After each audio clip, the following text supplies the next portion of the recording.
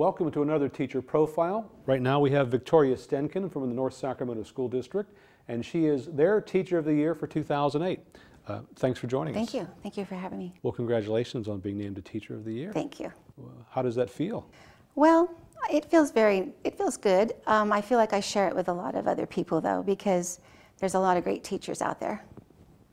Well, tell me about your school and uh, tell me about what you teach. Well, my school is in North Sacramento School District. It's um, a, a K uh, six school, and um, it's very diverse. Um, we have a lot of people that stay in the community, have their children stay in the community, and then those kids stay also. So we, I get a lot of generations now coming in, which is a real joy. Uh, and um, our kids are a lower socioeconomic group, and a lot of working parents, a lot of parents that care a lot about their kids. And so we are changing now because of uh, people retiring, we're getting new blood in, and so um, it's an exciting time. And what was the name of your school again? Hazel Strauch Elementary School. And how long have you been teaching there? It's been a while. I've been there 33 years, and uh, I've taught every grade but kindergarten there. So, what is it like to be teaching in the same school for so long to see families coming back? It's great because you feel a real sense of uh, community. Uh, you recognize people over the years. Um, they'll request that you have their child. You can bring in pictures of their parents when they were in your class, and it, it makes the field, kids feel safe and uh, continuity. So it's a good thing. Well, well, tell me what you enjoy the most about teaching. What's brought you back for 33 years? I love spending my time with kids. Um, I love trying to empower them and give them, them a sense of hope for the future, no matter what conditions or situations they may be at present. And um, every day is different. There's a new possibility every day. And uh, you do really feel like, even though you only have them for a year, you can leave them with skills and thoughts that will follow them through the years of their life, hopefully. Hopefully. Yeah. What are some of the challenges that, that you face in your classroom, or, or just tell me about some challenges that you think teachers in general are facing these days? Well, I think that um, one of them is the, uh, the standards are very important for us to be able to measure how kids are learning and if they're learning. Uh, I just, we are sometimes concerned that the pacing sometimes could lead to the child, the whole child being left behind in pursuit of the higher scores. So I think we need to meet a happy medium, find some way to meet a happy medium and still keep the um, expectations high. And the other thing is the achievement gap. Um, it's been there a long time and it's just coming out in the media more now. And our district has taken a step, quick step forward in training equity teams from each school to become familiar with uh, different ways of teaching and becoming aware of the differences and the fact that no matter what the socioeconomic group a child comes from, there still exists an achievement gap. So we need to find a way to change what we're doing, what the school looks like, how it works together with the students and the teachers, um, so that everyone is achieving and then we don't have that gap, so that uh, everybody's increasing, but the gap is getting smaller and smaller. What are some of the things that you've tried to do on your own to, to kind of kind of narrow that gap? Probably just my uh, my approach to teaching is to develop, try to develop a lot of trust between the families and myself. Really have high expectations, no matter what the situation is. Give kids tools that could help them transition from a difficult situation at home, maybe to a more neutral setting at school, so that they can kind of set those things aside while they're with me.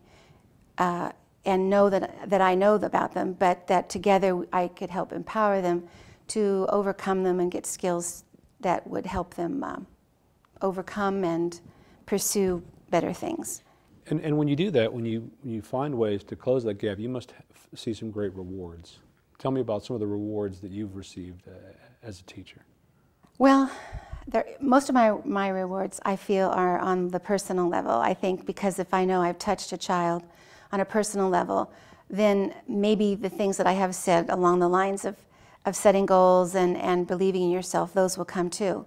Um, I've been honored many times by kids of different cultures that's a real important thing for me is to have my classroom be a, an inviting place and an accepting place of all cultures and religions and traditions and rituals.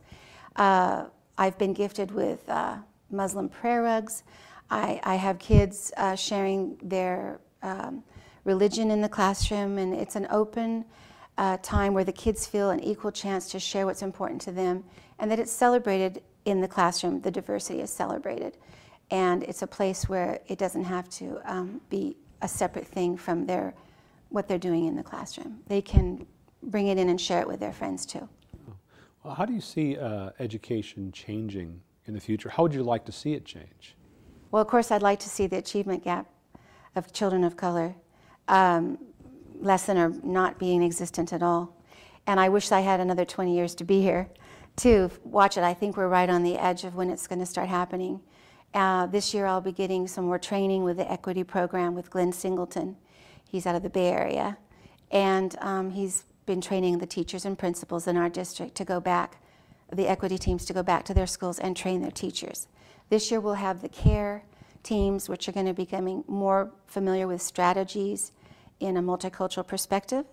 So I'm excited about finding out what those are too and start using those. So I think that what will happen will be that what what's happening in the classroom and the schools is going to start looking different. And I think that's an exciting time.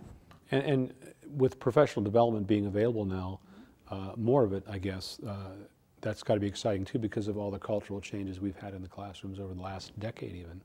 Right, and I've always been very interested in becoming more familiar with what's going on. New things like strategic planning and being a mentor and being a BTSA mentor with teaching standards. And um, I like to stay uh, up with those kind of things because I think that makes me a better teacher and I can help new people coming in.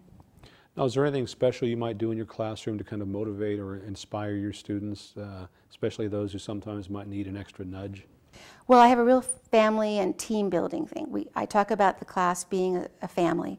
They set monthly goals, we have monthly celebrations.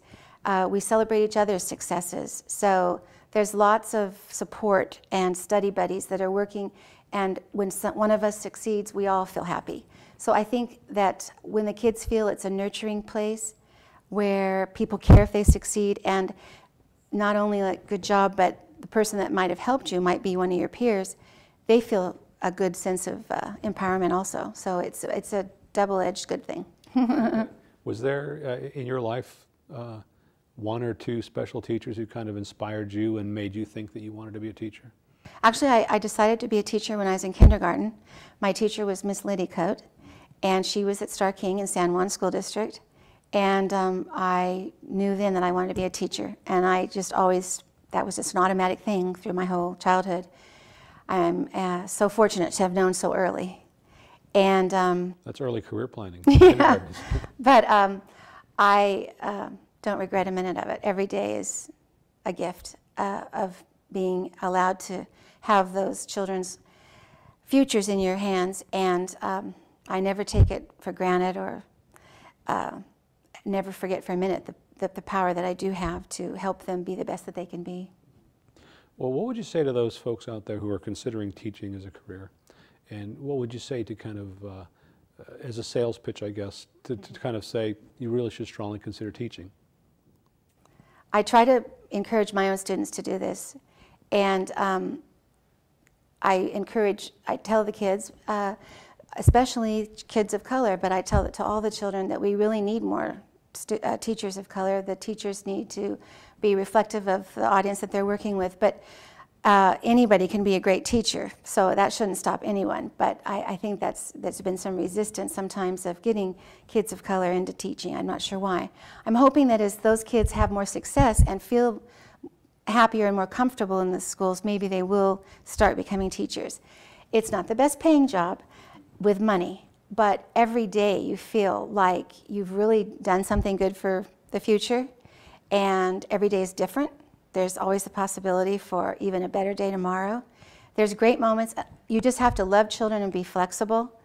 But I can't think of a better job because, like I said, lots of people go to work and they just dread going. I never do. And it's just, if you love children and you like to think on your toes and you like to try to inspire people, it's the best job because uh, I just think kids are the best, best people to be spending your time with. All right, well, thank you for your time. Thank you. We're speaking with uh, Victoria Stenken, who is the Teacher of the Year 2008 for the North Sacramento School District. Thanks for joining. Thank you.